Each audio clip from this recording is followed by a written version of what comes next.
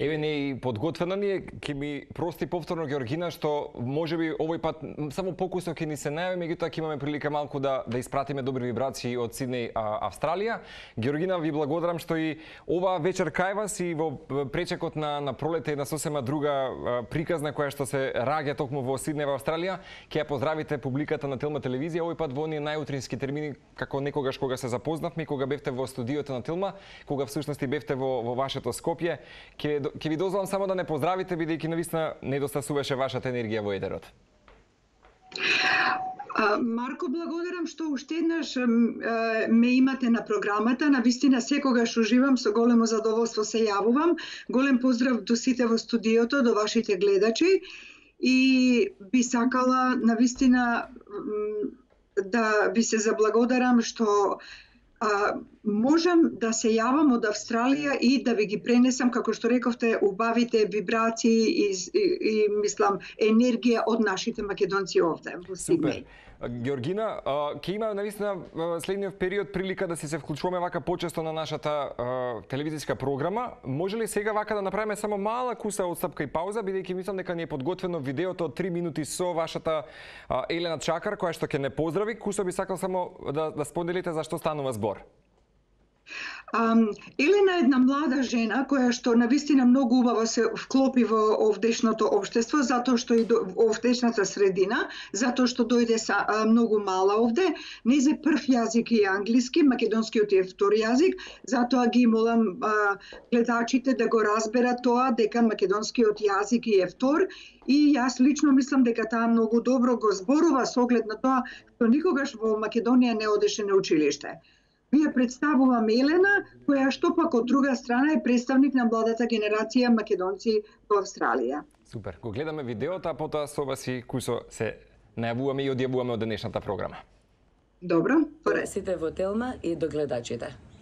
Елена, колку време сте во Австралија? Ние сме во Австралија 30 години. Родителите ме донесоа мене и брат ми тука три дена пред мојот шести роден ден.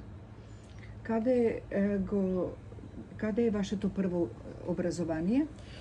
А, јас а, почнав школа тука во Австралија на англиски јазик. И каде го научивте македонскиот јазик? Да сум искрена, најмногу дома го научивме македонскиот јазик, родителите нас не збореа само на македонски, ама исто така не носеа во саботни школи за македонски јазик. Кажете ни нешто за вашите гимназиски денови. Јас завршив гимназија во IGS, International Grammar School, и тоа школа имаше многу фокус на јазици. Јас завршив а, француски јазик и тоа вистина а, ми даде уште повеќе љубов за македонскиот јазик. Кои се студентите во IGS? Студентите а, доаѓа од многу различни а, земји а, во светот. Понатаму завршивте факултет? Да завршив факултет во uh, UTS, University of Technology Sydney, и таму завршив внатрешна архитектура. После тоа завршив магистратура за Sustainable Development uh, во University of New South Wales. Кој е вашето прво вработување? Јас а, работев додека студирав а, и работев во фирми за внатрешна архитектура и за архитектура. И тоа а, многу ме научи работни навики, исто така ми даде многу искуство и дисциплина. И од се што работевте, на што се определивте како ваша професија понатамо? А, на градење. И, и, и додека работев во внатрешна архитектура, најмногу ме интересираше градење и на 25 години станав директорка а, на градежна фирма. Кажете ни нешто за вашиот фамилиарен живот. А, јас сум мажена и имам прекрасно дете Оскар две пол години. А сопругот? А, Деймон. Поздрав, Деймон. Уште нешто за вашиот културен живот во Австралија. Меди Австралија и Сидни има многу богат културен живот и ние кога бевме млади родителите често не носеа во галерии а, и на представи и јас уште продолжувам да одам најмногу во Gallery of New South Wales а, и исто така многу сакам а, музични представи. А, И секој пат кога доаѓа Симон Трпчевски, ние одиме да го да го гледаме. Поздрав до Симон и до неговата фамилија. И да ви кажам, многу ја сакам калјопи и мојата најомилена песна е Пурпурни дожнови. И за крај на ова ваше јавување? Поздрав до нашите фамилии во Македонија и многу ве сакаме и stay safe. Благодарам Елена. Бидете безбедни, поздрав од Елена Чакар од Сиднеј Австралија и во моментот повторно се се поврзуваме. Тама колку од прилика Георгина, сега би колку би дошло часот во, во Сиднеј? Се приближува на кај 10 на вечер. 10, значи 9:36. Одлично. Знаете дека uh, ми е многу драго што можеме на овој начин да се поврземе со нашинците или луѓето кои што мигрирале токму во Австралија во Сиднеј. Знам дека секогаш убаво е вака преку овие телевизиски програми да ги донесеме и актуалностите кои што се случуваат конкретно од македонската заедница потем во во Сиднеј. Голем поздрав до вашето семејство меѓу другото. Едно од првото прашање кусо би сакал само да прашам каква е состојбата во Сиднеј од прилика сега периодот бидејќи знаеме дека Така беше во целосен локдаун Австралија, прилично ригорозни мерки и така натаму. Го издржавте тој прилично непријатен период зад вас? Да, и доста долг период долго траеше, Марко, меѓутоа сето тоа помина, се обидуваме да го оставиме позади нас, последиците се чувствуваат. Јас само една работа ќе кажам, што многу ќе зборува за последиците. Например, австралиската пошта не лета во многу земји од светот. За жал, една од тие земји е Македонија. Сакав на една пријателка да ја пратам пакетче за новороденото дете и тоа не можам да го направам затоа што не лета не летаат авионите за Македонија. Се чувствуваат и на многу други начини начини последиците, меѓутоа не може ова така брзо да се искорени mm -hmm. и покрај тоа што велат 90% во Нов Јужен Вел се веќе вакцинирани од возрастните дека се враќаме во нормала, меѓутоа тоа враќање во нормала оди бавно и ќе потрае. Како и да е, по позитивно се движиме. Одлично. Овие три минути со ќе бидат наши редовни видеа кои што ќе ни ги спраќате во во во иднина во овој сегмент на утринската на тело. Мигите сакам да прашам. сакам малку повеќе да се фокусираме за за младите и за професијата после ковид. Доста актуелна тема мора да признам дека на секаде во во светот и кусо би сакал да избрифирате околу истото. Да, ја во, јас во принцип мислам дека е навистина тешко да се издигне едно дете преку млад, преку младинец во солиден граѓанин.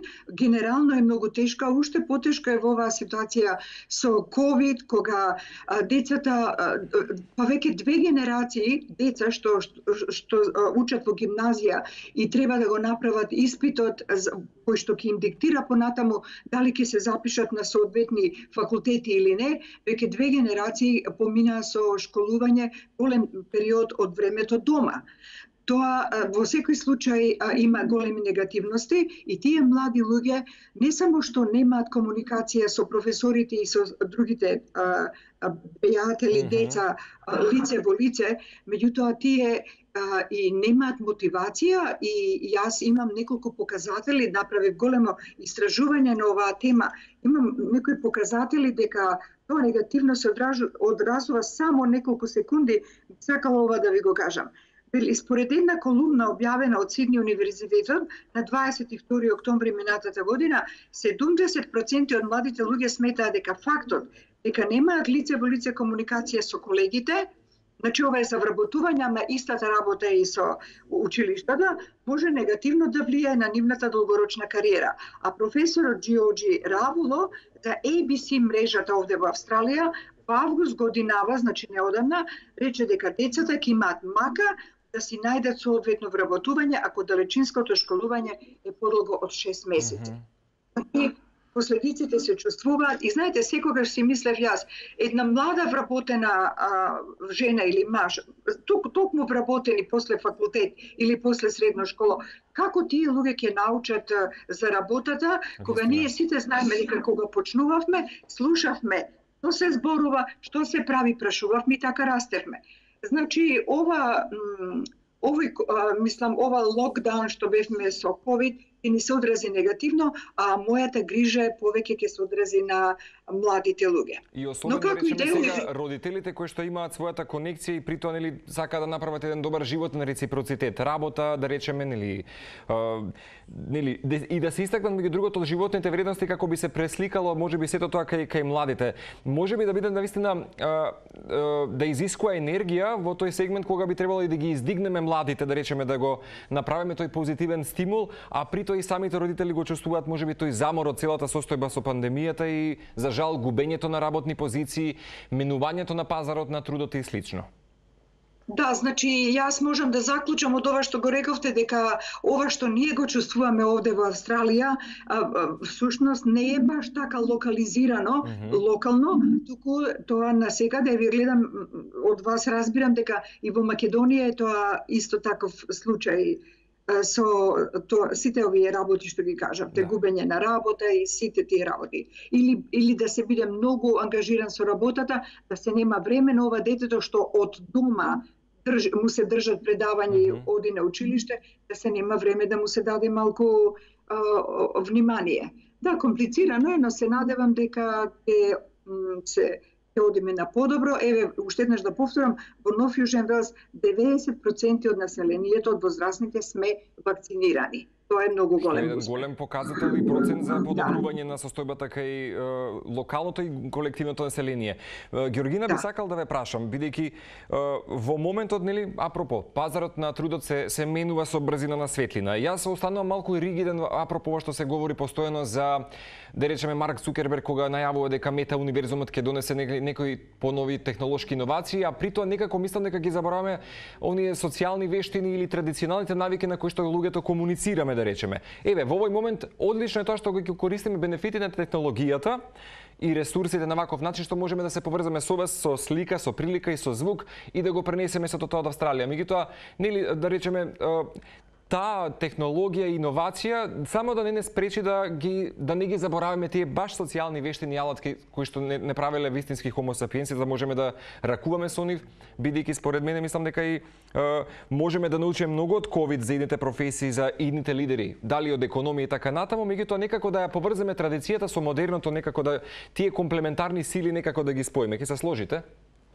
Апсолутно се сложувам со тоа. Апсолутно. А вие веќе начнавте една друга тема, Марко. А, тоа е, јас веднаш се поврзав во мислите со ова што го рековте, со филмот Социјална дилема. Мгм. И многу би сакала во едно јавување само на тоа да се, Да говориме. да се концентрираме, да говориме за тоа, да. Се разбира. А инаку, а, да, инаку ковид и ова што децата беа дома и што ги гледаа родителите како се отпуштаат од работа едни професии, а како други професии, професии или други индустријски гранки цветаат, на пример, на пример цветаше снабдувањето со медицински апарати нормално, затоа заради ковидот цветаше тоа. Меѓутоа, сите овие луѓе што имаа бизниси, кафулиња и тоа, изгубија работа, изгубија бизниси. И сега младиот човек си вика, што правам јас? Каде одам во животот? Која е професијата што треба да ја одберам? Ќе одберам нешто што на вистина многу го сакам или ќе одберам нешто што ќе ме спаси во секоја ситуација, па дури и ваква пандемија? Мгм. Значи, голема спунетост кај луѓето, меѓутоа, а, да, како и да е, пак нема да ја заборавам темата за социјалната дилема филмот. Филмот беше фантастичен, другото толку беше и отвори контрадикторни прашања бидејќи самите луѓе кои што го наметнаа тој социјален експеримент и проекти како што се да речеме Facebook, Tinder и сите тие да речеме социјални алатки кои што ги користиме, сега после деценија и работење веќе некако интегрирани сето тоа ние како мрежно поврзани сите во, во тие социјални мрежи или алатки, сега тие нели после 10 години кажуваат за а, о, добро, ги почувствувавме бенефитите, меѓутоа ги почувствувавме за жал нели и, и лошите а, состојби на, на истото. Самите тие луѓе кои што биле лидери или да речеме биле директори, CEO на на овие платформи. Да, така си е. Ја гледам дека и вие сте го виделе филмот Филмот и тоа е многу фантастичен, интересно. да, да се при, да, да се погледне. Фантастично, да. Ја, јас, го, јас мислам дека секој и, и млад и не само млад, секој човек треба да го види тој филм и да знае колку многу е лошо вли- влијанието кај децата кога веќе стануваат зависни зависни стануваат, да не речам како што се младите луѓе зависни од дрога, алкохол, mm коцкање, ова веќе станува сериозна работа, стануваат зависни од социјалните мрежи. И покрај тоа што реков ти многу ценам тоа дека а, големи се бенефициите од нив, меѓутоа кога секоја работа кога ќе се претера, кога ќе се помине линијата на она што е нормално и човечко, тогаш се разбира дека не е корисно. Јасно. И за крај, Јоргина, на ова вклучување, ова прво, нели, да речеме, поздравување ваше од Сиднеј, би сакал само, ајде помалку нешто сериозно, како што и вие баш ми начнавте, да речеме повеќе на забавниот ентертеймент дел, кога, да речеме, во моментот и Снепчетот е доста, да речеме, како алатка го користат младите луѓе или новиот начин на некое свое интермедијално представување, да, па дури и интервјуирање и регрутирање на, на младите кадри и, и луѓе. Велите дека на ова поле, да речеме, лидер или водечка сила е во моментот големата компанија или конгломерат на Макдоналдс? Да, тоа е многу интересно. Макдоналд е вратата на младите, на многу млади генерации за почнување со работно искуство. И сега што се случува? Нив не им требаат луѓе или деца, да речам, или млади луѓе кои што имаат искуство. Затоа тие а, имаат а, го користат многу Snapchat, а, го користат на начин каде што кога младите луѓе на многу лесен начин можат да се пријават да се поврзат со Snapchat и за да можат да, да бидат интервјуирани, што прави Макдоналд? Макдоналдс, кога ќе се поврзат на нивните на, нив, на нивниот линк со Snapchat, тие имаат поставено камери каде што младиот човек му ставаат капа, му ставаат облека од Макдоналд, му став... дури му ставаат и значка со името и го прават веднаш да се чувствува дека е дел од тој екипаж. И, значи, не треба тој човек, не му треба CV, што велиме, не, не, резиме, нели, не му треба ништо, му треба само да каже зошто сака да биде дел од работните сили на Макдоналдс и само треба да има добар она персоналити што велиме. Мгм. Да е добар човек, да е интересен, а, зошто, например, а, сака да работи и кога самиот човек рече затоа што сакам да имам забавна работа, убава средина, да ги служам луѓето со насмевка и задоволство, тој човек веќе има виза за влегување во таа фирма. Меѓутоа Макдоналд а, е на вистина има многу позитивни работи да кажам за нив, а посебно што го нема во Македонија, нели така Марко? Да, за жал, ланецот Македонија. веќе, ланецот веќе не постои на ресторани, да. Е, па заради тоа се чувствувам слободна да зборувам, инаку ако го имаше ќе беше како бесплатно рекламирање за Така. Макдоналд. Идејата не ни е таа, нели? Така, сосема Идејата е да кажеме нешто друго. Макдоналд има многу методи на, а, на ова како ги воздигнува луѓето, како ги фали луѓето, како им го подкрива а, ф- она што велиме self-esteem на англиски, како моралот им го подкрива, да и желбата за работа. Многу интересно, мене ова многу ми се допадна како Макдоналд ги интервју- ги интервјуира младите луѓе и само сакам да кажам, не знам дали, а, например, а, познате, познате податокот дека Макдоналд моментално во светот има вработено 440.000 луѓе. Тоа е една Огромна бројка. Да. Наистина, една огромна бројка. Само за три месеци во Австралија планираат, значи, тоа овој податок го имам од малку порано, значи во октомври, ноември и декември за три месеци да вработат 11.000 луѓе.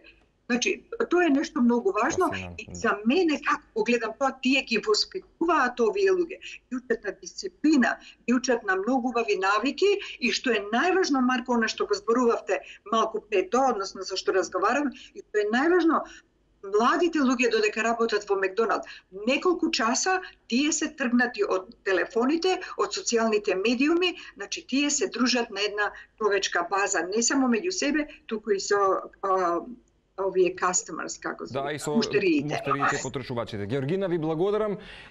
Голем поздрав раќаме од Скопје. Се слушаме за многу скоро повторно на, на линк од Сиднеј, Австралија. Големи бакнежи ви испраќаме. Исто така и од овде. Секој е добри, имајте си убав ден. Ви благодариме.